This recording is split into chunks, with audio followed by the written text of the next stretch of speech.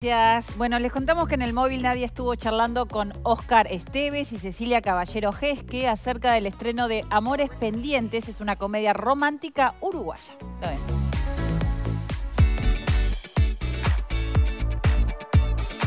Vamos a hablar de la película Amores Pendientes y estamos con Oscar Esteves, el director, y con Cecilia Caballero, una de las actrices. ¿Cómo andan? Bienvenidos a Desayunos. Bueno, muy bien, muchas gracias. Eh, estamos muy contentos.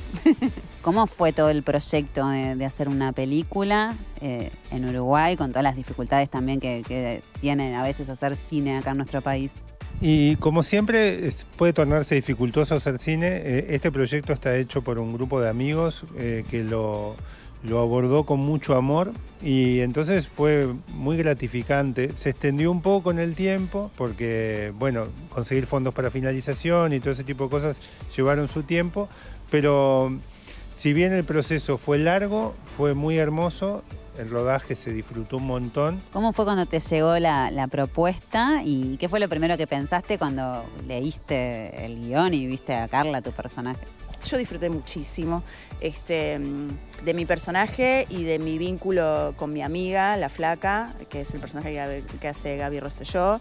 Este, y bueno, y con, con- Y con Amanda. y sí, con Amanda. Este, nos divertimos muchísimo en esos rodajes.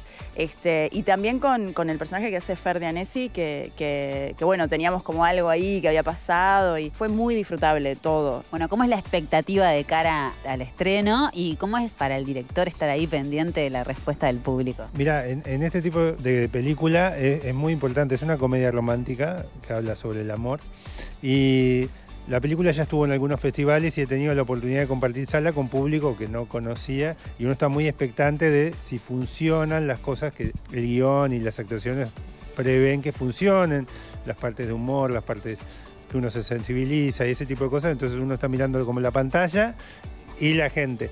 Por ahora viene funcionando muy bien y la expectativa es que la gente vaya al cine y después funcione el, el- boca a boca. Nosotros confiamos en que la gente va a ir, va a empatizar, se va a enamorar de la película, que es una de las cosas que propone. Se va a ir pensando en aquellas historias pendientes que ¿Quién tiene. no tiene una historia pendiente, verdad? Con alguien que nunca le dijo. Te deja reflexionando, yo ya la vi.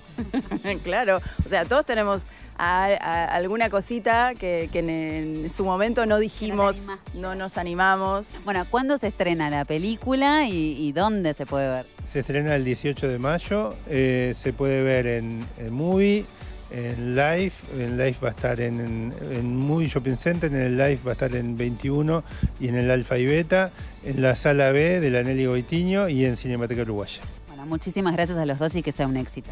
Gracias. Bueno, muchas gracias.